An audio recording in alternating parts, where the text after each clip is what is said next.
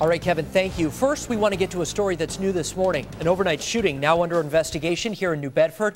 Eyewitness News at the scene on McGurk Street around midnight, where a person was found with gunshot wounds. New Bedford police are not releasing many details. In fact, there's no word on the victim's condition. There are reports police do have a suspect in custody, but that has not been confirmed.